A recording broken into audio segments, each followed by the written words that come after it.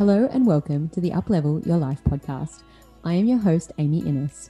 I am a mama of two and the CEO of a successful wellness business. I know all too well what it is like to juggle multiple hats, and I am on a mission to help you ditch the toxic shit in your home, your mind, and your life so that you can live vibrantly. Throughout each episode, we will dive deep with industry experts to discuss all things health, well-being, and mindset.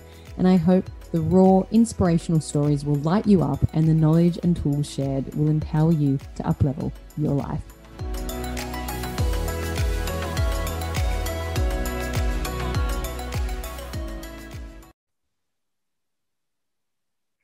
Hello and welcome to the latest episode of Uplevel Your Life. Today, I have the wonderful Tamsin Revell, who is the founder of Farming Revolution. So, this is a platform for, for people to learn about regenerative farming.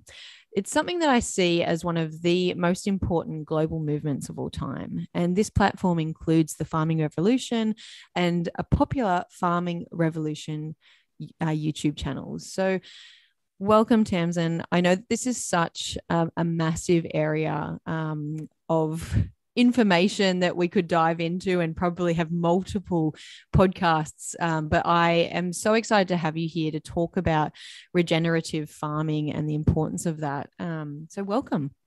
Thanks, Amy. It's great to be here. I'll try and answer as much as I can. Um, it is a massive topic. Um, and if you do stumble over regenerative, just call it regen. Perfect. Thank you. and what I guess my first question would be what led you on the path of regenerative farming? Uh, yeah, I um, think I was 38, maybe 39, and I was diagnosed with an autoimmune disease, um, Graves' disease, and that's hyperthyroidism. So mm.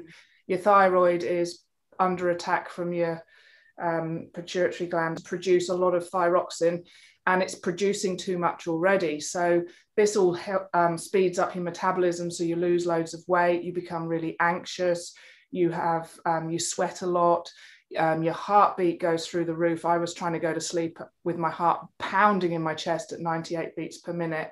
Um, and so it, it, it whacks you completely. It's like derailing you off, off a mm. railway line which is your life. Um, and you're trying to do all these things but because your body is is just under attack by its from itself uh, you can't function. And i got really angry with my body because um, my brain is the one that's super hyperactive and, and tends to not cope with life too much. And my body's been really grounded and really solid and something that I could actually rely on. Mm. And then all of a sudden it's attacking itself. And I'm going, no, no, no, no, this doesn't happen to me. I don't get sick. Um, I'm not just going to sit down and and accept the the fact that I'm in I'm a woman I'm in the right age bracket this is what normally happens and I sat in the specialist office and I said no this is not normal but for, mm-hmm. for him, of course, being a specialist, it is normal. Every person yeah. that comes through the door has a thyroid issue. Um, and I'm sitting there and he sort of got this wry smile on his face. And I said, no, I this is not normal. um, but he did ask me, he said, are you on soy milk? And I said, yeah, I've been on soy milk for the past two years because I can no longer drink dairy. Mm. Now I'm a Jersey girl, and so I've been brought up on full fat, yellow, creamy, beautiful Jersey milk, straight out of the Jersey cow, um, and never broken a bone in my body, always been able to drink it, not a problem. And then I came to Australia when I was about 26, I think. And I couldn't handle the milk over here for whatever reason. It gradually got worse and worse now in hindsight what it was was it wasn't to do with the lactose it wasn't to do with anything else except they're homogenizing it. Mm. and it meant my body didn't recognize it as milk um, and so it was just making me feel awful. So then i swapped and i tried almond milk and rice milk and all the other milks that are out there and it was soy milk that i seemed to like the most even though it was nothing compared to dairy milk um, and then, yeah, big shock when I'm sat in the thyroid specialist office and he said, get off it now, because that's one of the things that actually does trigger off thyroid issues. Mm, yeah, I, I, have thyroid issues myself. And it, it's really interesting when you when you first start diving into um, some of the triggers and um, and I, I actually I found that really interesting about how you're talking about how you can no longer tolerate dairy. I'm I'm the same. I I can't, and it's yeah, it, that was one of the things I started learning about was the processes that that our our food goes through, and and milk especially yeah. uh, in the in the dairy industry. It's yeah, it's really um, so yeah. Yeah, I can now drink as long as it's either pasteurized, but I um, order raw milk, which is actually illegal to drink in Queensland. It's normally sold as bath milk, and I can I can drink that, and it's all fine. My body's just totally like, well, this is milk. I this is okay. Yeah. I can digest this. yeah. Wow. Yeah. So, what I guess that leads on to um, the, the topic of you know how you started learning about the importance of of how we um, how our food is produced and you know this whole area of of farming. And what would you say has been one of the biggest causes of the disconnect that society has with their knowledge of where their food comes from and how it is produced? Good question. I think we've just got lazy. I think I mean, if you sort of go back a couple of hundred years, how many of us actually lived in a city? Mm. And I think cities is where that big concrete jungle is about just not living a life that a human actually is designed to live. We used to live in small communities. All of us had acreage of some description, whether it was only half an acre. We we're all when we were hungry and we wanted um, some lamb or, or some beef or a chicken, we'd go out in the garden and actually mm. celebrate its life and, and kill it and then butcher it and eat it. And it would last for a long time. So when you're doing all of that, that's when you appreciate what the time and effort it takes to actually produce either an animal or food of any description, whether it's fruit or vegetables. And I think, yeah, living living the lives that we do, which is all now about technology and about buying things like consumerism and and just throwing things away because also when we had rubbish what did we do with it we we didn't have these great big landfills mm. we didn't hmm. have rubbish men taking our, our rubbish away we didn't have plastic you know our lives have completely turned upside down because of both um, the way that we've evolved with regards to the petrochemical side and, and globalization mm. and it's all it's put so much pressure on our farmers and that's one of the reasons why these things have changed because of course we as consumers go we can't afford that we want cheap mm. but what we've done is we've shot ourselves in the foot because cheap is not healthy anymore and it's mm. putting huge stress on our farmers and our, on the livestock that we're producing our planet the soil our atmosphere, our oceans, rivers. Our rivers are not flowing in Australia for one reason, and it's because of our farming. Mm.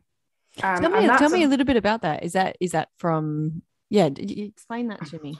Okay, so it, it comes back to our soil. So if you are intensively doing anything. It's the same with, with extremists. So if you are an extreme exerciser, or if you're an extreme eater, or if you're extreme gamer, anything that you do it's in an extreme way is not healthy for anything mm. or anybody. So when you are industrially farming and you are producing as much as you possibly can, because it's all about yield, you are having to then put on a load of synthetic fertilizers and the more nitrogen you put on the thirstier the plant gets of course because it, you're telling it to grow grow grow grow as quick as you possibly can. Okay i'm really thirsty so let's pump some water on. Well at the same time when you're doing that with monocultures you're and bare fallow which is means when you have nothing growing in your paddock at all you're releasing huge amounts of carbon into the atmosphere. Mm. now when you do this you're actually stopping your soil from being able to infiltrate the rain that falls out of the sky. So, what happens then is all that rain that falls out of the sky doesn't go in the soil, it runs off. Mm. And so hmm. it runs off with everything else that's attached to the top of the soil, whether it's your chemicals that you sprayed or your synthetic fertilizers or or um, or your just your topsoil. It's a com- combination of all that, and it runs straight into the waterway. Now, this is then um, a really short cycle because, of course, once it's drained off your property, what's left behind? Something that's not got any moisture in it. So it's mm-hmm. dry. So, what you have to do, you have to pump the water back on. So, it's this cycle of this extreme way that we have put pressure on our paddocks or on our planet just in general with regards to uh, pumping water irrigating and of course when you're feeding and, and this is the other thing when we've been bashed into believing that we've got to feed billions of people we don't have to feed billions of people we half the, the population is starving of, of the planet plus we produce huge amounts of waste mm. and so there's this pressure on top of us all the time from those people in, in corporate um, organizations demanding this and trying to sell products and farming us all mm. that has now led to this whole breakdown of our planet and and this is what if you're led to believe down one rabbit hole, the whole COVID thing is about the whole ecosystem starting to degenerate, basically. Mm, yeah, and and and coming back to the soil, because that um the the way that things are at the moment, it makes the soil really compact, doesn't it? So it it causes long term issues, doesn't it? It's there's many things that happens. Um, so yeah, we lose the topsoil to either flooding or to wind we have compacted soil. So it, there's a lot of chemistry involved as well, which I don't know too much about because I don't need to know it in depth like that. Mm-hmm. But there's a magnesium and calcium ratio. So when you've got compacted soils, it's normally because that ratio is not correct. You need more calcium to, than magnesium. However, when you take the carbon out of the soil, the carbon acts as like a great big beautiful sponge. Now, think of carbon as a diamond rather than as a piece of coal. Mm-hmm. um, it's a much nicer way of looking at carbon. Carbon is a beautiful thing. There's different ways of putting carbon back in the soil, but basically you need a lot of soil organic matter. So the mulching side of things, dead insects, uh, livestock poo.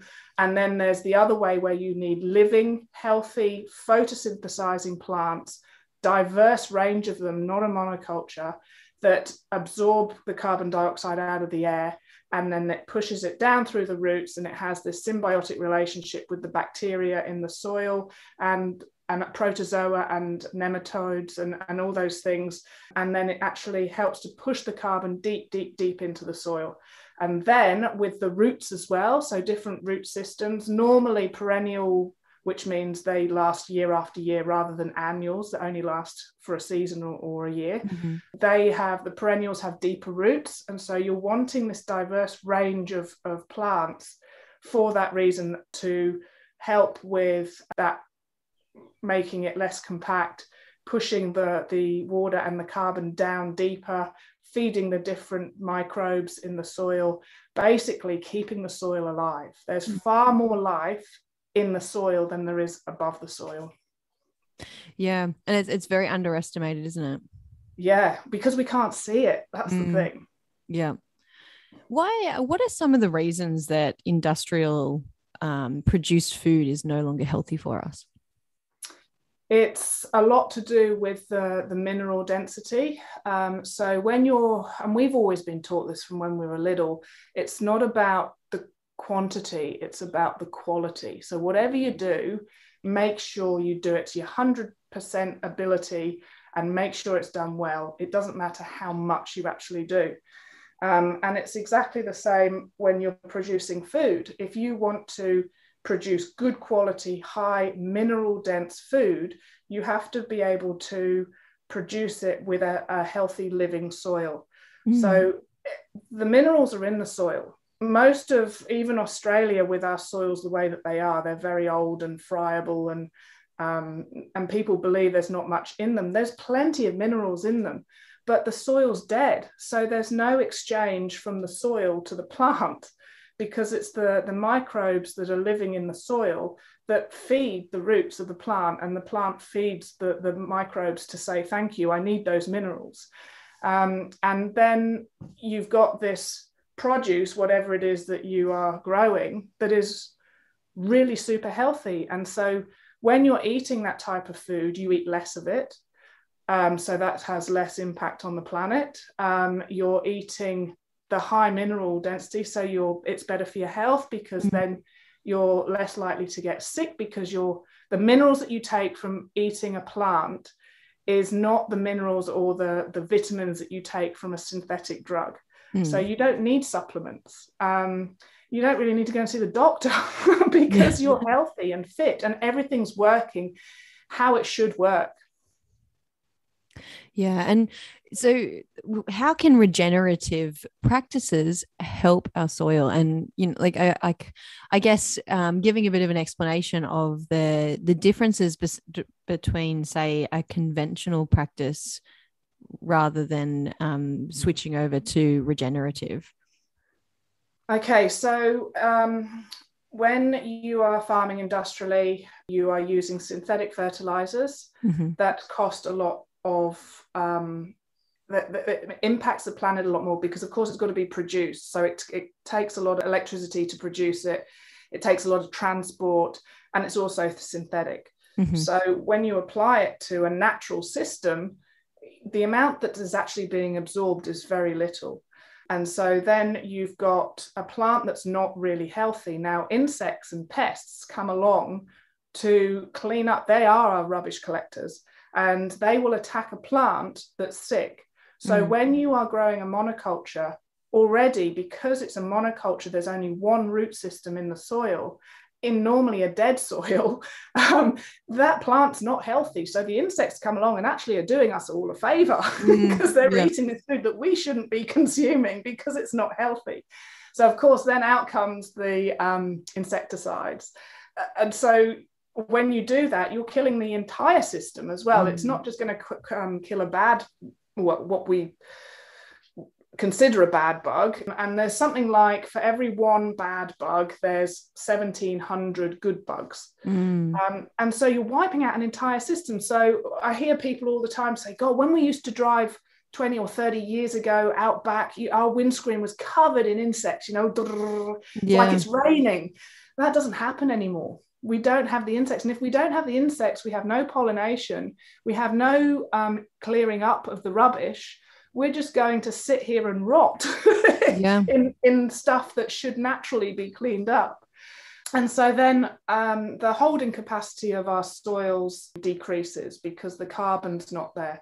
When you leave a paddock to bare fallow, the temperature of the soil can get up to like 70 degrees or something. Mm. And it's the ero- it's open to erosion. So, like I said, with the flooding, but those mm. wind um, storms, those dust storms that we've had with the wind, they're not natural. They are because the ground is not covered. Mm. And we go, well, mm. we live in a country that's half of it, majority of it's desert. Well, that's okay to a certain point. And yes, Mother Nature will move dirt around because that's what she does. She doesn't like anything stay, standing still and being stagnant, but not to the degree that we've seen it. That's because we've overgrazed, we've put so much stress on our um, soil, um, and a lot of it is bare fallow because, of course, if it's not raining, our farmers don't plant, which you know is sensible because nothing's going to grow. Mm. um, and so it just gets hotter and hotter and drier. And causes all sorts of problems. It's it's, it's like a um it's just a bad cycle isn't it? And it's yeah. oh, yeah. How yeah. how can um well i guess let's talk about the mission of farming revolution and i guess the concept that you have to bring consumers to the forefront of our food production. Yeah it's this whole i'm only that one person um, i'm not going to make a difference so i'm just going to carry on my life the way it is. Well we all can make a difference and we are consumers and it doesn't matter what how, how powerful a corporation is if all the consumers disappear that corporation is nothing mm. so we are starting to wake up some of us and especially with this whole covid thing because COVID has enabled this belief in, in this whole uh, resurrection of community and, and backing each other rather than nailing each other to a tree. That whole competition side, this is about collaboration. And there's a big difference between capitalistic competition and collaboration.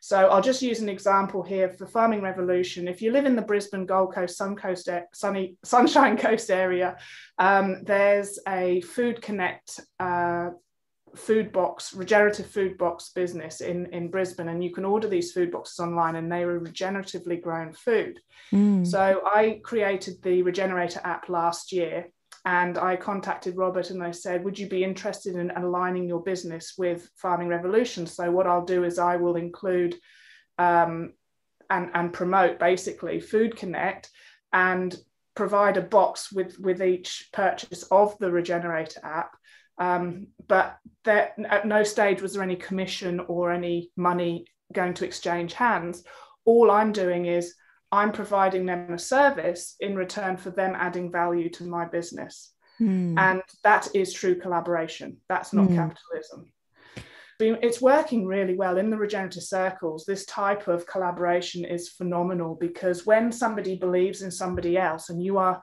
kind of selling their product, but it's not for financial gain. It is no. literally because you are so passionate about what this is and it's the so right thing to do. So let's all jump on board and, and do this. So yeah, consumers are so powerful and I just we, we just have to wake up. Yeah. Yeah, and and it's about coming back to that community, isn't it? You know, and how as a community we can all work together to have you know a, a better a better world, a better a better environment, a, a you know a healthier food source, um, and just really supporting each other. And I think that that's just been so forgotten, especially, uh, you know, I, I, yeah, I guess you mentioned it earlier when you were, you know, talking about how we used to live in communities, and you know that was it was the normal thing. You'd have you'd work together, and we've gotten so busy that it's like we don't have time to to strip back that busyness and to work out what's really important. And i guess uh, we as i mentioned we recently we moved onto a small acreage and you know as as we've started planting our our trees and we've started our veggie garden and it's it's such a wake up to the the time and love and energy that it takes to create food.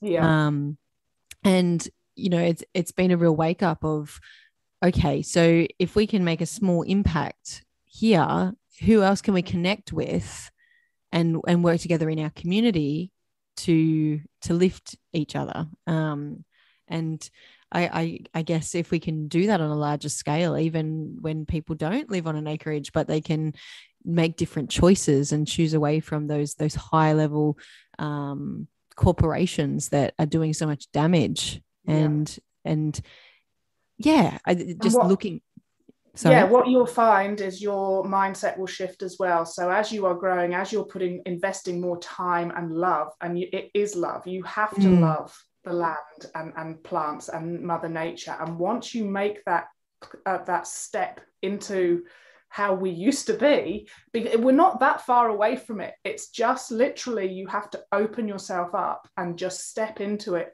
Once you do that, you will then um, attract people. And it that shift will be this is not financial this is about giving. Mm. um, and that's when we are all going to um, benefit um, and and that's the whole value add that i was talking about. Just it's a beautiful feeling and, and that loving that you have because you're doing good. Mm. but it doesn't have to be actually recognized.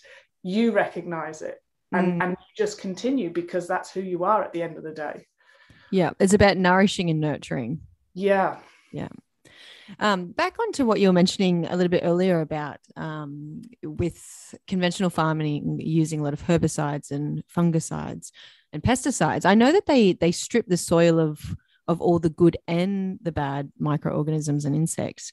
Besides the poisons being detrimental to our health, what impact does this have ultimately on the quality of our food?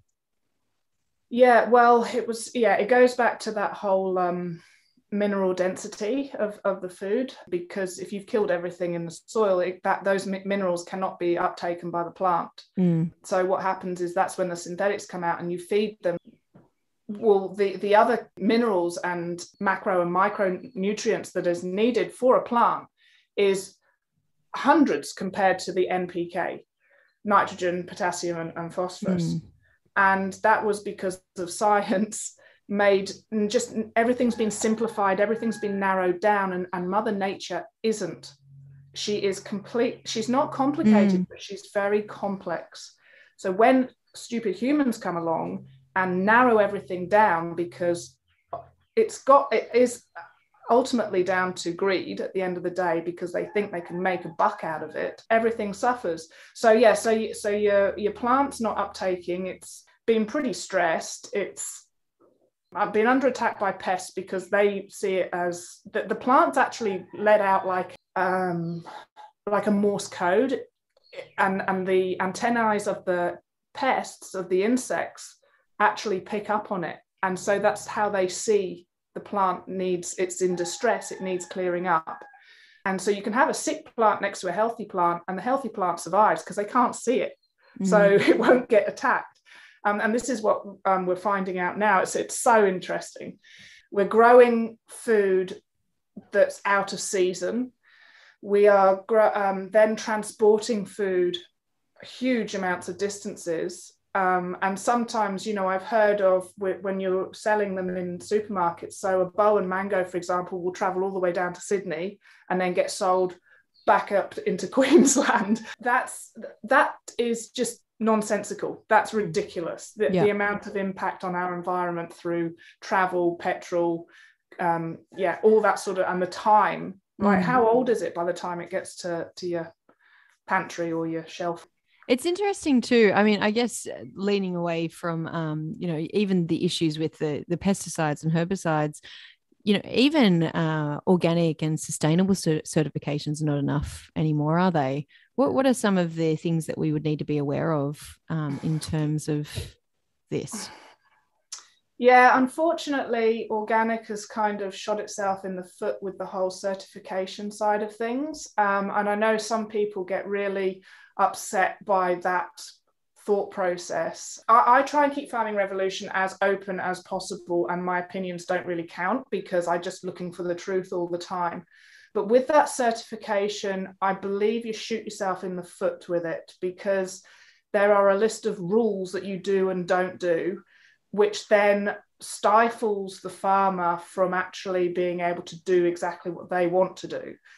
Uh, and I'm not talking about spraying chemicals or anything. I'm actually talking about adding whatever they need to add into the soil or doing something that the certification prevents them from doing and so that's the beautiful thing with regenerative farming is that you're open to do whatever it takes to mm. make that soil productive and this is where we're just at this beautiful tipping point of we need to be verified rather than certified mm. and this is actually happening now there's uh, land to market down in albury the farmers that are that are providing food for that market are um, being verified uh, and so there's certain things that they are testing. So it's the diversity of plants, diversity of insects.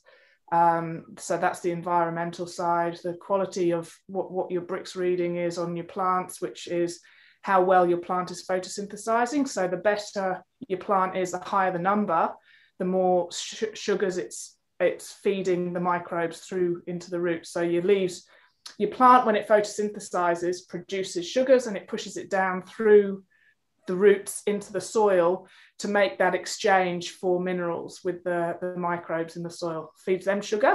Mm-hmm, mm-hmm. so they're addicted to sugar and uh, and gives that they do that transfer with the whole mineral side of things. Yeah, well, and, um, and I guess I guess with the organic thing as well is you know it's become a bit of a buzzword. So it's sort of you know I, I'm guessing uh, in my limited knowledge that um, a lot of organic certifications essentially are produced in a, I guess, a conventional way, but without the pesticides. And so, uh, well, yeah, there's, much. there's, it all depends on the farmer. I, I, I've met organic farmers that are regenerative farmers, but the mm. only way that they can differentiate with their produce compared to the industrial produce is to certify themselves. I think I was uh, thinking in more terms of say like Woolworths, for example, with a um, where they've got like a lot of organic products on the shelves, um, where it could be kind of like a marketing thing rather than a, a true regenerative practice where they're they're really looking at the um the consumer at heart. Yeah, that well, anything to do with those big corporations, you've just got to be very careful don't believe anything they say. You know, there's there's some labeling that says uh, Australian company, and then you actually read where the the the whatever that so it might be a chocolate bar or something or not sorry um, a nut and muesli bar mm-hmm, um, mm-hmm. and the produce isn't australian but the company is that's mm. packing and, and making it but they're actually getting their whatever it is whether it's their oats or, or whatever it is that makes the, the muesli bar from different countries, not, not Australia. So, yes, you have got to be very careful. The, good thing here in Australia is it's got that funny like bar that's got a, it's a green uh, rectangle with the mm-hmm. yellow. So it sort of tells you how much percentage of the contents is Australian grown. And okay. I, when that came in a couple of years ago, I was just like, oh, thank goodness, because we can actually, at a quick glance, you can go, that's less than 75%, put it back on the shelf. Okay, that's really interesting. I wasn't aware of that. Oh, really? Yeah. Look look on the back of all of them. The the worst ones are the cereals or any of the biscuits, as in um, like cheese, savoury biscuits. Mm-hmm. Majority of them, it's it's all. Some of them is is almost zero from Australian um, produce. Cereals, I think the most I've seen is like seventy six percent Australian grown. Wow. Um, yeah, but the other thing as well, going back to the organic side with the actual farmers, is it's their holistic. This is the difference between regenerative and, and organic. It's the holistic approach, it's the whole systems approach that is taking or is, is understood how to grow that actual piece of food or, or fruit or, or whatever it is that you're growing. So, with the organic, if they've got pests coming on, instead of looking at where their soil is lacking, what they will do is they'll actually reach for that spray, whether it's, well, it will have to be an organic spray. Mm. So their mindset hasn't actually changed to why are they getting pest attack? Mm. All they're saying is, we're getting pest attack, we need to attack, we need to kill.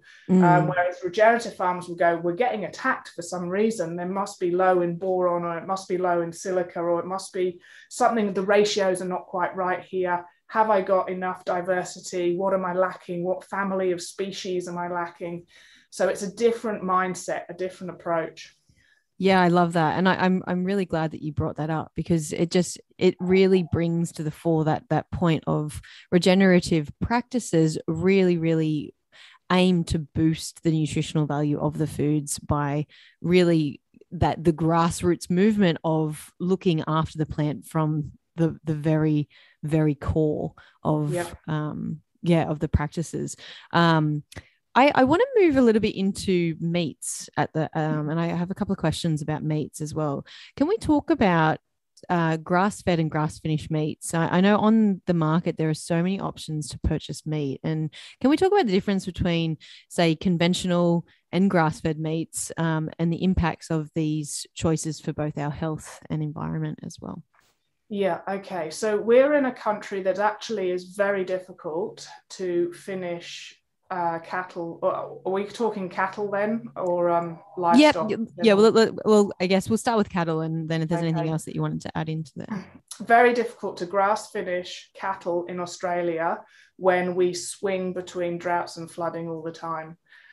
It can be done, and there are certain parts of Australia it is being done, and it's been done really well as long as the grass is full of nutrients, as long as they are uh, timed rotationally grazing their livestock, then that meat is the creme de la creme. That is the mm-hmm. best meat you can get. And if they're butchering it on site as well, which is actually um, happening, but on a very small scale, um, then that is the primo mm. of course you're going to be paying for that as well and course. that's the thing with with consumers we have to open our eyes and go if this is quality if the love and time has been put into producing this food we need to dig deeper into our wallets and and pay what it's actually worth mm which will probably lead you on to the next question that you're going to ask me. So I'll, I'll back off a bit there.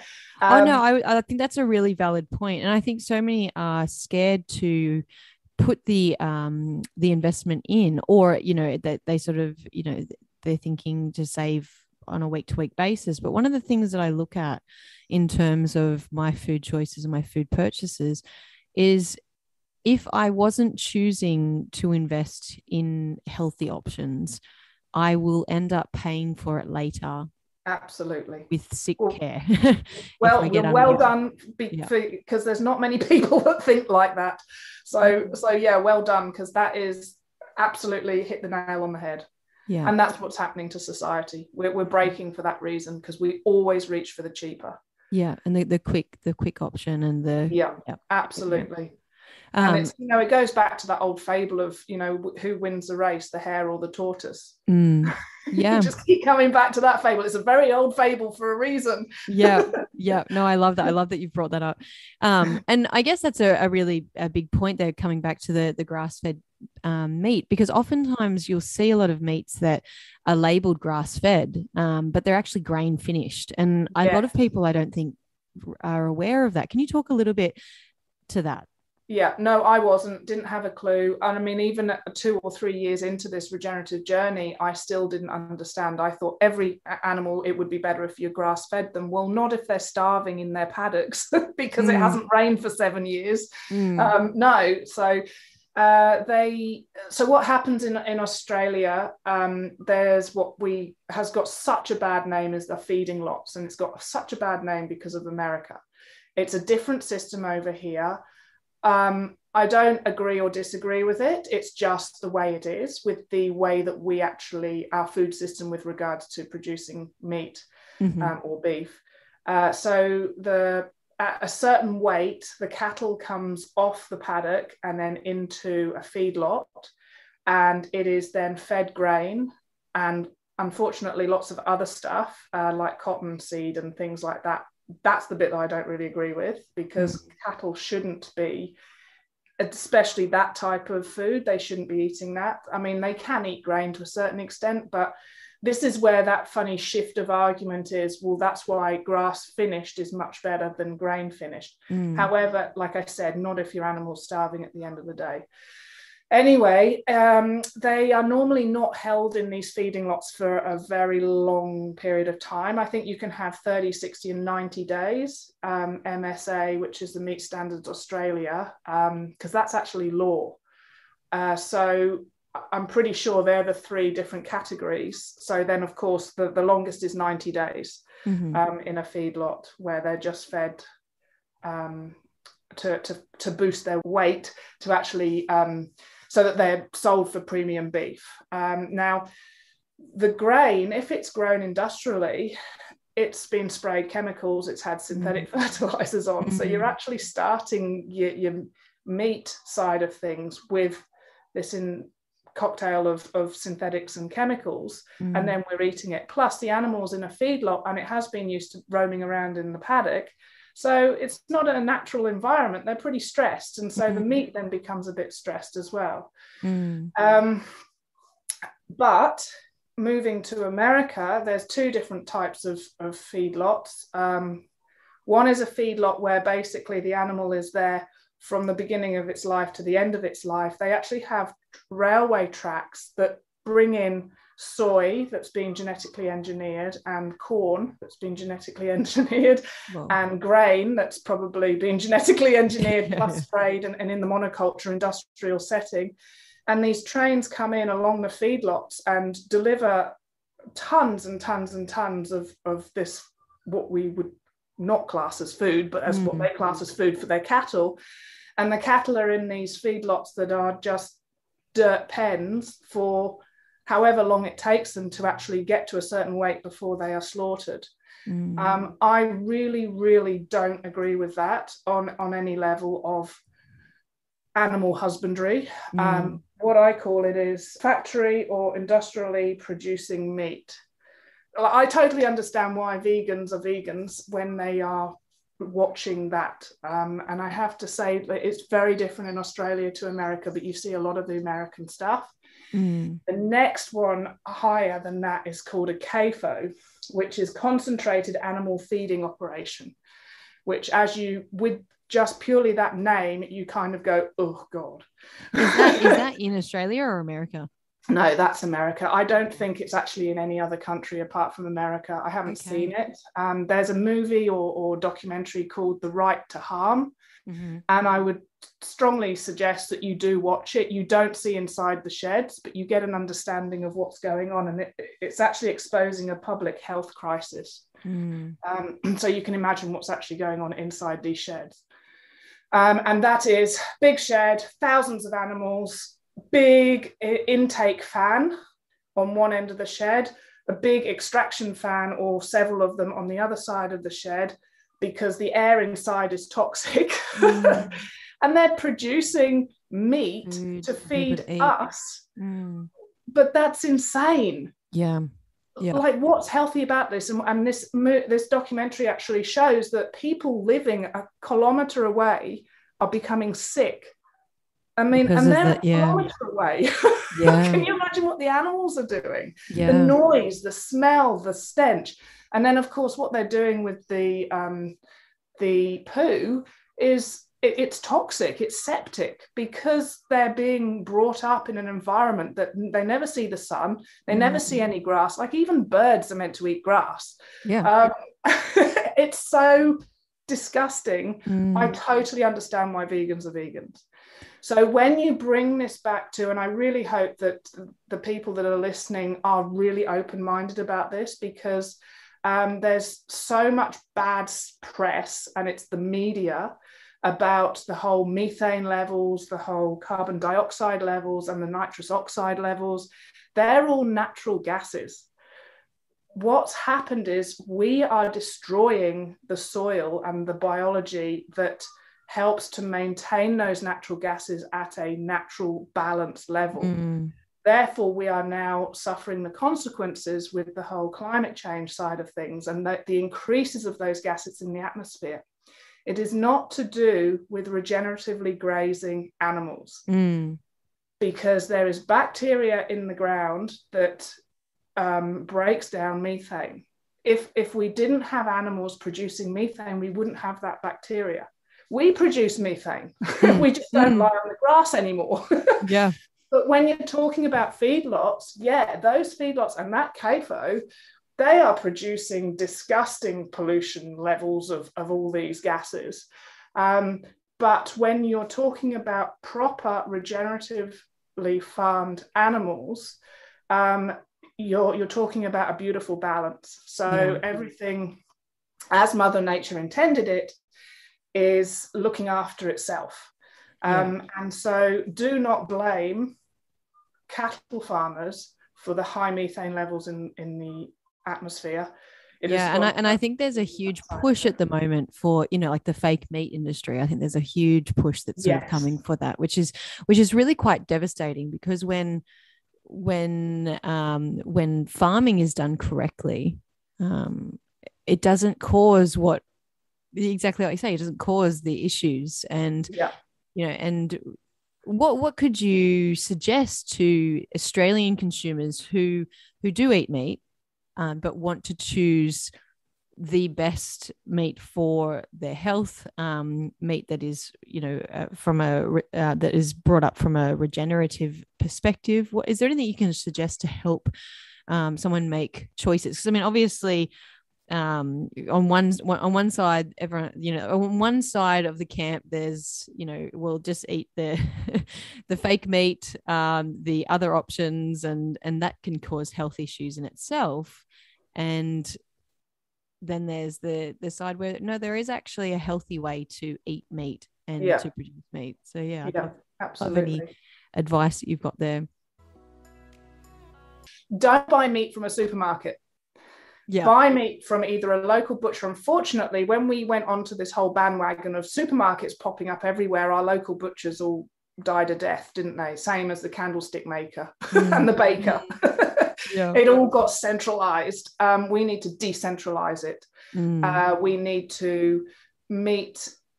Like I, I- I go to a super butcher here in in Oxenford, and I talk to them about the meat. Um, they haven't quite caught up with the regenerative side of things because I have had this whole grass fed discussion. Mm. And apparently that's not good quality meat. Um, but so I just left it. I wasn't going to force my point on it. I actually buy beef that has been raised with seaweed what they found is that it helps to reduce the methane level that cattle produce. But as I've already explained, it's not really a problem unless the cattle are in an environment mm. that's hmm. not natural to them. Really understand where your local butchers do some research because there's um, a couple of, um, well, there's one definitely, Provenir. He is, um, oh no, I'm going to forget his name. Sorry, I've forgotten his name, but he goes on site to your farm and they and most of these farmers because they're wanting to produce small amounts of beef but quality they of course are not trying to cull 100 mm. head in a day which yeah, yeah. is probably these big operations do handle um, i don't know i don't know the numbers he does it on farm he says a little prayer before it all happens he goes into this box nothing no none of the other animals understand what's going on they don't know he just knocks them hangs them, and then off farm butchering. It's a beautiful process. And, and when you listen to him talking, he, he loves what he does because it's the right way of doing it. And you can't kill an animal of any description without respect because it's a life that you're taking at the end of the day. Yeah. Yeah. And, and I've become more and more aware of that. You know, we've got chickens on our, our little plot. Um, and it's so interesting to to connect with the animal in that way knowing that that animal is providing us food and you know eventually they will get to the point when when we do eat them as well but you know really being able to celebrate that cycle of yeah. this animal to have a beautiful life to free range on our little our little plot uh, and i know that we're we're quite privileged to experience that um, but and that sorry just coming to that point that death is life Mm. As parents or as community or as Christians, I don't really know what it is, but we're scared of death. Mm. Um, I I'm not scared of death because I've now trained myself to understand that it is all part of the cycle. Um, I lost two mates when they were 18 to cancer, and I was 19. And um, at the same time, my mum was diagnosed with cancer as well. And I just they were fit, healthy individuals, and yet cancer had just got got them. And it was I'd been protected from death for my entire life, and I had to deal with that at being 19 years old. Mm. And I wish I'd been able to understand death as a two or three year old. Mm. And my daughter, she actually had two fan-tailed doves, and one got taken by a snake, it's horrific watching that. Mm. and, mm. and she wasn't quite that young, she was about four or five. And it was heartbreaking for me to watch this young child understand that she was never going to have this animal again. But now, as a 12 year old, she understands death. And mm. in actual fact, we I, I did knock a rooster over the other day. Um, I've never eaten rooster before, but um, I went, this is the first time I'm going to eat sorry, kill and eat something. Mm. So we sat and watched on YouTube. I said, Kobe, this is going to be pretty gruesome because I need to know how to actually kill it properly. So we watched it and she was absolutely fine with it. Mm. And I went, thank goodness, because at 12, I couldn't have coped with that. Mm. Because how beautiful though that she understands where her food's coming from, you know. Exactly. and, and that as well because yeah. there's such a disconnect I, I feel um, there is such a disconnect because you know we're so used to being able to go to the supermarket and pick something up off the shelf and there, there's no sort of reverence put to where our food comes from and that and that comes from not only um, the you know the meat industry but also our where we get our, our fruits and veg you know you don't realize how much love needs to go into food growing um, yeah. until yeah you you're really connected to that um, yeah. can can you share how the decisions made by consumers can have a direct impact on our farmers welfare i think consumers have a massive um, what's the word oh no i'm going to forget the word their their value of what our farmers do is priority.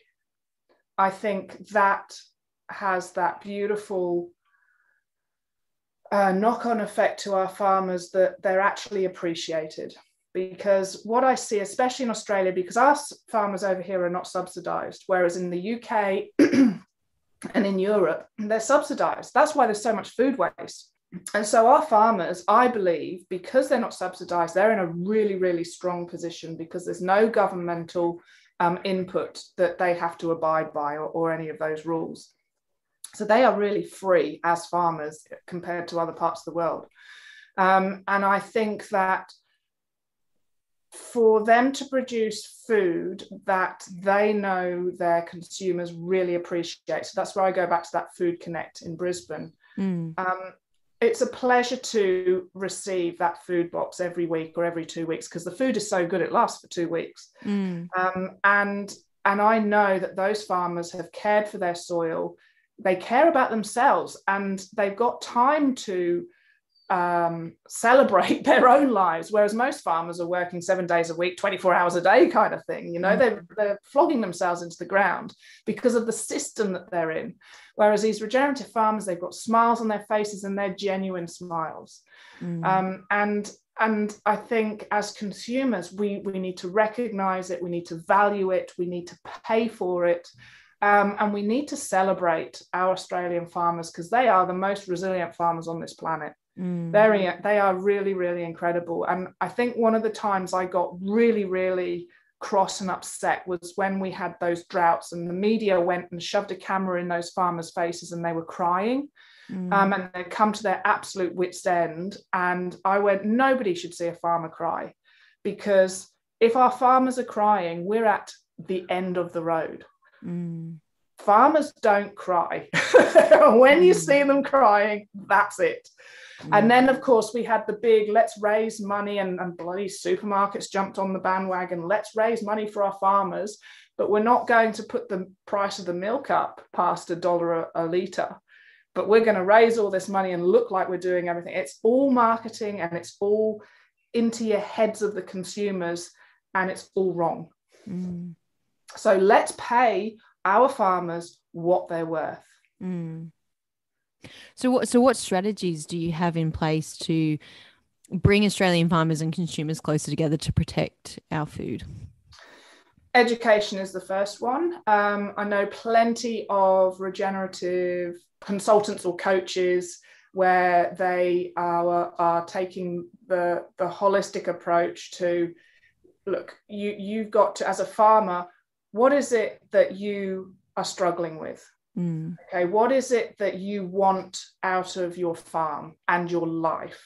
What is it that you know? It's that holistic approach. It's not just how much, how many seeds did you put in the soil and what's your yield going to be, which is what mm. it's like now. So that side of it is really well looked after. There's some amazing regenerative coaches out in, in Australia. Um, and then Farming Revolution is a platform where everybody, whether you're a farmer or whether you're a consumer, can go to and watch how other people have actually done it or have a conversation with somebody who has had an autoimmune disease or you know there's i just i'm trying to build up a community where people are individuals but collaborated so that we are all together mm. um, and everybody who I speak to is up for that. You know, there's not, or there's been a few people that have gone, no, you're not good enough, or, but that's their problem. That's their issue. That's nothing to do with me. Mm. I just go, oh, well, it's your loss then if you don't want to be a part of this. um, and so, yeah, education is the big thing because, of course, at the moment, if if say all of your listeners then just went right, I'm going to eat regenerative food, they're going to go, well, where are we going to buy it? mm. um, because it's not available in mainstream yet. I would love to see the goal of farming revolution is that there is no longer a farming revolution needed. Mm. Um, and I will evolve into something else then. Maybe it'll be farming evolution. Mm. Love it. um, uh, because yeah, things will happen. Um, and but what we don't want is we don't want certification. We don't want those greedy bastards jumping on the bandwagon, going, "Oh, everything's regenerative now. Let's just put the name on the package." Yeah. No, it's not that. It's far more than that. And um, yeah, consumers, it just keep in contact with with farming revolution however often you want to just so that you can go back to those grassroots and and and and when things are evolving into something and and more and more markets uh, regenerative like market um, sheds are, are, being built and and there's one up at uh, sunshine coast actually at coolum which is on the it's being developed and um, that will be hopefully open next year uh, and those sorts of areas, more and more of those are springing up, um, mm. and people are just got to be aware of it and understand. Oh, regenerative! I know that because of farming revolution, and mm. let's go and let's see and support and taste. You've got to taste the difference. Yeah, and you know, and use our our back pocket to to to drive the change. Yeah, yeah, yeah. But don't like I, I don't want it to be ridiculously expensive. Like unfortunately organic that was the major problem was that it priced itself out of the average market. Yeah, yeah. that's silly. That's not business sense. No. That's stupidity. Yeah yeah.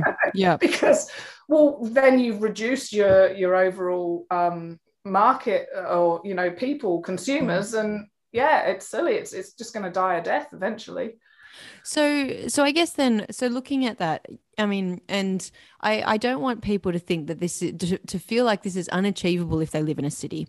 Um, what what can you suggest to someone who lives in a city who may not have uh, local farmers nearby? Um, you know like what what can you can you suggest to help them on this path uh, to with the and help and help them see that collectively we have the power to make change happen yeah. by demanding more regeneratively grown food is there anything that you can share to help people start to make changes in what they're choosing there is um food boxes in Newcastle and Sydney as well. They are regenerative and transitional farmers. Your Food Collective was, I was trying to remember the name. So Your Food Collective, they are food boxes again, just like up here in Brisbane, Gold Coast area, which is Food Connect. Mm-hmm. So look at them uh, down in Albury. They've got that land to market. So like I said, there are areas or places springing up, especially around cities, because of course we all want to be producing food for a city because that's huge number of people. Yeah. so yeah. where we're going to sell the most. And um, if you're in a city and there's so many regenerative job opportunities, but you got to want to set up your own business, really. So, for example, green waste removal is huge. I know it's happening in Melbourne, actually. I haven't looked into it, so I don't know the company names or anything, but yes, they've got several restaurants that they remove the green waste, and I'm pretty sure it's either composted or worms, or is it composted and produces a fuel or something? Okay. There's something really tricky going on in the middle of Melbourne. I can't remember exactly what it is. But yeah, there's there's opportunities everywhere. Don't think just because you're in the middle of a concrete jungle that you can't do stuff. You mm-hmm. really can. And then if you just think about London, for example, they have they they have and, and had allotments for a reason. Mm. And the allotments came into play when the world wars were happening because what they did was they cut off the, the road supplies from the country to the cities. That's how that they were starving populations to try and win the war. And London had its own allotments. Yeah, so wow. it was producing its own food get together if there's a piece of council dirt or or I know you have to go through a lot of red tape unfortunately or even a privately owned something or other and you're like this has been sat here for years. What's the plan here? Mm. go and knock on doors or go and investigate in the council chamber or wherever and just see can we actually build a garden here? Mm. um, because again it's called a community garden for a reason. It brings people together. Yeah. And that connection is so important in times like this Absolutely, mm. more so than anything. Like you see those blocks of flats, or you call them apartments over here, all all uh, locked down. And if they just had, they could all be locked down and all still go outside, literally into where the car park is. But there's a garden there, for example, mm. yeah. and and garden like they're they're still in lockdown and they're still all together. And they're yeah, like how much better would life be? Yeah, it's such a beautiful vision to mm. see. Yeah, and yeah yeah and I, and I, think it's just really important to plant that seed for people that there is more possibility and yeah yeah but don't wait for somebody to come knocking on your door going oh we're going to build a garden go out there and grab life by the balls and run. Mm. Like just just Yeah. do it yourself. Yes, yes, yes. but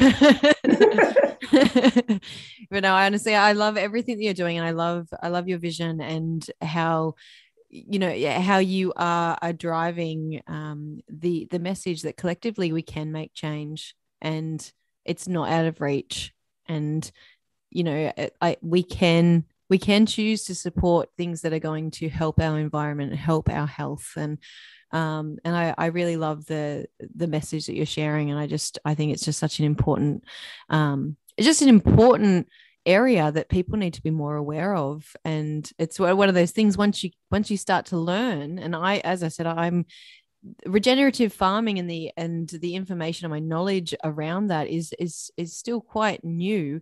Um, but once you start to learn you can't unlearn. No, and that's the beauty. Mm, Um, yeah, just that that impact of oh wait a minute, and it has that domino effect yeah positively though that you just go yeah oh, well if that happens that happens that happens and then Yeah. you just how am I actually going to explain this to the average layperson because Yep. it is supposed to be. yeah but but that's what's so fascinating about it is that if you have an autoimmune disease you can hone in on that if you have mental health issues because your brain is attached to your gut or the your gut Mm. or both ways you know? And so if you're ill in your gut you're ill in the brain. Mm, and and so psychologists and, and psychiatrists really really need to completely and utterly understand how regenerative food can help their patients. Yeah. Then you go on to um, the connection or the unity that we need to create between first nations people and us Mm, um, is huge. And listening to country if you talk her language you can provide that beautiful unity and and equalness between two totally different cultures and mm. one culture that we've tried to make extinct and to acknowledge that and to share each other's values positive Mm. values not not our destructive negative values yeah and and Um, share the knowledge and learn and in and work together yeah absolutely and then you know if, if you're interested in the environment then the environment farming regeneratively improves your environment regenerative farmers are finding that if they give 25% of their land back to nature their Mm, farming actually improves. Well, it makes sense, doesn't it? Because you've got diversity, you've got trees, you've got insects, good and bad. You've got so that means you've got pollinators, and you've got you're creating your own ecosystem on your property rather hmm. than flat monoculture desiccated ground that's that's dead and and then lays bare. Like mother nature does not lay any part of her bare. Even deserts Yeah. have life in them. It's so, So- interesting that you bring that up because it isn't it such an odd thing that we have grass and that it's such a pride to have like grass. you know, like the wars that people have over their lawns always Yeah. makes me laugh. with without weeds and the Yeah, weeds without weeds. actually telling you yeah. grass is crap yeah and it's so interesting because you know like uh, my husband and i were talking about this recently about um how important weeds are to our ecosystem yeah and you know and we were talking about like it, we were sort of going down a bit of a rabbit hole he'd listened to a recent podcast and it was so interesting to to just dive into that and to look at where we are where it's you know as soon as there is a weed it's sort of you know in society it's killed off. And but that weed has so many things that it helps the ecosystem with and it causes you know there's all sorts of issues that come from that. But um Yeah. you know what what if instead of having our perfectly manicured lawns we all had a little garden in our yard? Yeah just a wild piece. Mm, yeah. And and honestly you would go out there and there would just be an abundance and- of diverse Mm, insects and animals and birds and butterflies. And you would be quite happy. You you know you can cut it every now and again but allow it to grow up. So we have Mm. this thing in jersey where we allow our hedgerows to grow through spring. So it flowers and then it goes to seed and then we call it a branchage which is a jersey french name for basically then cutting it right back but we allow it that time for nature of our hedgerows to actually be natural mm. and to do the job of, of this beautiful cycle. Jersey farmers used to, I don't think they do it much anymore because of the whole industrial way that we live our lives. They used to take the vraic off the beach, which is all the seaweed and kelp that's brought mm-hmm. up from the uh, Atlantic storms, and take that rich fertilizer that is free and put it on their paddocks. And so if I go back to going back to the thyroid issue, my mates on Jersey, not one person has got a thyroid issue. Because the iodine. So that's telling you something, isn't it? That yeah. seaweed is really important on your land. yeah, yeah, yeah. Yeah, no, it's yeah, it's just it's so interesting when you start diving into all the different areas, and um, yeah, I just no, I think I think that this this conversation is a really great starting point, and yeah, just I encourage anyone who's listening to dig a little deeper and um, yeah, start looking into into this a little bit more. Um, I've been falling absolutely in love with um with uh, permaculture since we've moved down here, and just looking like looking into how we can best utilize our land and to have that diverse range of of things growing together and and trying to yeah, like to spot where things are unbalanced to try and help it together, if that makes sense. But um, yeah, no, absolutely. Diversity and no kill, that is how we're going to evolve to regenerate our land, our health, mm. everything, our society. Because, yeah, it's got to be diverse and we've got to just flip this mindset and just stop killing stuff. Yeah. Yeah. Yeah. if it's there, sure. it's there for a reason. Why yeah. is it there? Oh, yeah. okay. Yeah, I didn't do that very well. So that's why it's here. yeah. So I will change that and I'll make sure that I do that the correct way or, or whatever, you know. So yeah. Yeah. Yeah. No, it's a different way rather than reaching for a quick fix. Mm. You, you've got to delve a lot deeper. Yeah. Yeah, for sure gosh we have covered so much in this in yeah. this conversation. And um i i would love to finish off by asking three questions. Um the the first was what is your favorite quote and why? Right. I'm not sure if i made this up or whether i saw it somewhere but either way it's uh last year i invested in myself so you never lose when you invest in yourself was the little quote that I came up with. Mm-hmm. Um, I invested in editing software and a marketing course that lasted all year. And you would have laughed because marketing in me is literally like black and white, chalk and cheese. I just, I'm not one of these people that gets uh, wrapped up in that whole marketing. I think yeah, I struggle of, with it too. Don't worry. yeah, but I needed to know it because yeah. I need to know apparently how everybody else ticks.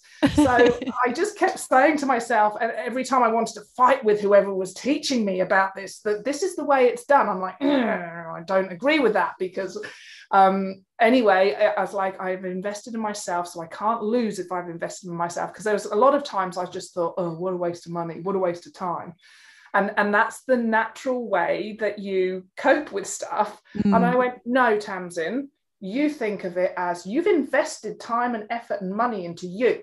So you make this work. I was like okay. So you never lose when you invest in yourself. Yeah and sometimes when you feel the resistance to things it's it's something that's actually opening you up to to more opportunities and more knowledge you know i think yeah. and i think that that's that can be that that quote um and i guess that um the statement of you know feeling the resistance is you know the, you when you start this journey into regenerative farming and the choices that you make it can you can feel a lot of resistance that comes up because yeah. it's doing things so differently to how you have always done things um, absolutely um, yeah again hit the nail on the head there. And that's what's quite frightening to the majority of farmers who want to change but just don't know how. Because mm. they're scrutinized by by their local community. I mean some people years ago when when they did it and they just went this is not right. Um, i'm going to come off the chemicals. Nobody talked to them. Mm. yeah. Yeah. And it's really alienating when you're already in the rural area where there's not many people anyway. Yeah. Um, but you know just to have that resilience and that resolve just to say no this is what i believe this is what's going to happen. Yeah. And of course they've they flourished in the long run.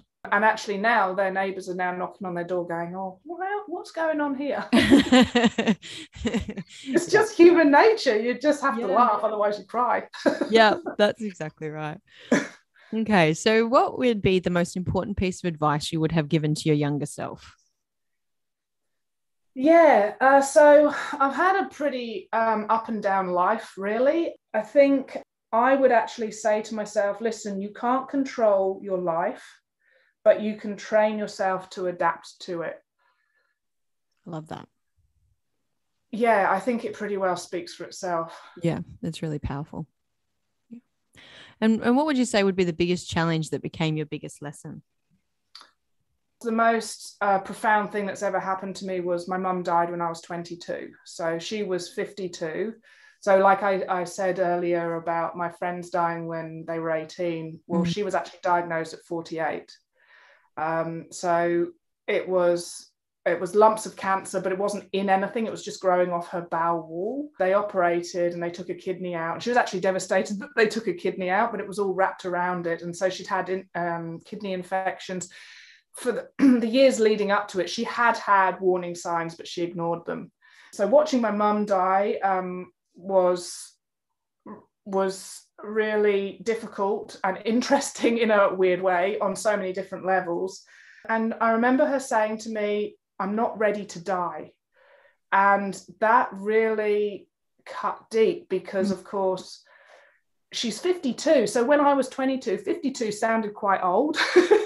But I'm now 45 and I'm getting closer to that 52 mark, going, shit, it actually was really quite young. And to get to that age and not feel that you've actually lived your life to its fullest is something that I could never, ever allow myself to do. So that was a really big lesson. And I want, I, I, like, if I die tomorrow, I've lived my life to my fullest. I've put in 100% of my life. I don't live every day as if it's my last because I would be exhausted. but, but I have lived it so that if I die tomorrow, you know what? I've tried my hardest. I've done everything that I want to do. Of course, I've still got loads of stuff to do, but it's not essential. It's I am exactly where I'm meant to be right now with Farming Revolution and that's such a, is- a, beautiful thing to share and, and thank you for your vulnerability in, in sharing that. And I'm, I'm so sorry that you went through that at such a young age. Um, and yeah i just I, I think it's really beautiful how you've you've taken um, such a tragedy um, and it has really cemented uh, such a beautiful um, imprint of, of, on your life that has allowed you to really uh, aim to live your life to the fullest each day. Yeah, and and it has really helped me to give back because everything is put into perspective when death is on the table, mm. um, and uh, you've got to be happy with yourself with what you're doing, not to try and please other people. Not to fit in with whatever it is that you're fitting into. If yeah. you want to be yourself and you want to do something that's different, do it. Yeah. Because it's your life at the end of the day. Um, yeah. and you need to be happy with you. And i think there's so many mental problems with society. Because of this there's so much pressure put on everybody. Yeah. If you don't want to do whatever it is that you are expected to do don't do it. Yeah. Do Change. whatever it is yeah that is you are passionate about. And as you can hear the way i'm speaking i am so passionate about regenerative farming because yeah. it's the only thing on this planet that makes any sense. Yeah. No, I and I I completely resonate with with what you're saying. We um we lost my my husband's mum last year and it's so interesting, you know, as you were talking and you were telling me your, your story just then, it's it, it became really clear to me in my mind that so much has changed in uh, what is important to my husband and I since uh, since that since that experience and you know we've we, you know we moved um, a couple of months after we lost her um, his mum and you know so much of what we do now is we are filtering regeneration into every part of our life uh, and not just in what we're doing food wise but in you know it, uh, what we're doing on our day-to-day basis is this something that is giving life or taking life yeah absolutely. and I um yeah, I just think that was just so profound. Um, what you shared and yeah i just really resonated with that so thank, thank you. you. yeah regeneration is and this is why if you hop onto linkedin and you see oh she's talking to um, corporations and, and business owners and people that work in offices about regenerative farming. How the hell does that fit in? But once you open the Pandora's box, mm. you realize, oh, wow, okay, regeneration starts from within. Mm. Yes, so much so. So much so. Oh my goodness, what what a conversation! Um, I think we I think we could talk for hours and hours and hours. I just I um yeah, there's so many levels to it, and I just I really um I really appreciate your time, uh, and I really appreciate all that you are doing to to give more life to the processes um, that that nourish and nurture us uh, in the long run, and um I, I just think it's such important work that you're doing. So thank you so much for all that you're doing. Um, where can our listeners find you if they want to learn more about your your vision and your mission and everything that you're creating? Um, yeah, where can they find you? Okay, so if you like looking at websites, go to farmingrevolution.com.au. It sort of explains sort of everything really at a, a fairly easy level. Mm-hmm. Uh, and it also will introduce you to farmers who are regenerative farming, whether it's dairy, livestock, um, orchards, plantations, cropping. Um, it introduces you to, I mean, I know that there's more than these people doing it, but it's just an introduction what I'm really going for at the moment is Farming Revolution YouTube channel. If you can subscribe, even if you, some of it is to do quite in depth with the farming side of it, and you are a consumer, I will be putting more consumer things on there as well. Just at the moment, I've just sort of gone down this branch of of getting these coaches to the forefront of what's happening in, in the farming side of things so that they can do what they are good at then I can go down the other branch, which is the consumer side, and, and let and give consumers more of a, a whole appreciation to our food system. And I'm starting a new series, depending on COVID, of course. It's called In the Back of the Ute. I'm just literally sitting in the back of the ute, so it's a bit of fun. I'm talking to regenerative people, and that can be in all walks of life, whether you're a dietitian, a, a mental health person, um, you know a footy player or a, um, a farmer or somebody who who's got a farm shop or you know the, there's so many of us out there on different levels in different spheres of, of influence and if I can get them in the back of the ute and have a yarn, that's perfect. And then, yeah, so that was the Farming Revolution YouTube channel. And that's the one that I'm really pushing at the moment because subscribers is what what's going to keep me financially viable. Mm-hmm. Um, but I've got quite a few to go. I think I've got 96 and I need 100,000. okay. but let's get pressing. So everyone join on, join on. and yeah, because I did the editing and I love filming, I love that's the artistic side, the creative side. So the filming and and documenting other people's um, uh, lives and personalities and regenerativeness. That's what I love. I'm so passionate about sharing other people what, what they do because we are all just here and and need to provide that value add for all of our lives. And we all and, have different yeah. strengths. And it, that's the beautiful thing about bringing community together and really sharing uh, our strengths with one another so that we can all lift each other exactly. So when when you succeed i succeed. Yeah. And if you can think and and train your brain to to because for of, sure. And i think when anyone when you see anyone succeeding all it is is an invitation to what is possible. Yes. Perfect. Mm. yeah that's a good one. Yeah. I like that. Well thank you so much for your time. I've just loved our conversation. And mm yes, uh, um, please, if anyone would like to learn more about Farming Revolution, please get in touch with Tamsin. She's amazing. Um, but thank you so much for your time. I, I truly appreciate you. Thank you, Amy. I'll, I'll uh, invite me back in a year's time. We can have another conversation, see how far it's got. yeah, I would love to. Absolutely. see how you're going with your garden as well. Yeah. Hopefully, I would have grown something by then. yes. Yeah. Well, love and commitment, that's what it takes. yeah, for sure. Thanks so much. Thanks, Amy.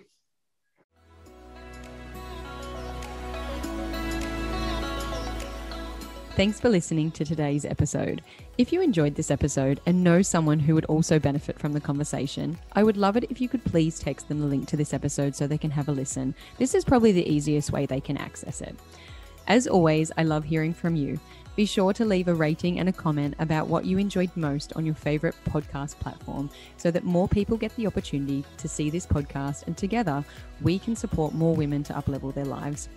Feel free to contact me further on either Facebook or Instagram at Amy Innes Health or email me direct via my website, amyinnes.com, where you can also download my free gift that I created to help you ditch the toxic shit in your home. So grateful to have you here. Till next time, take care.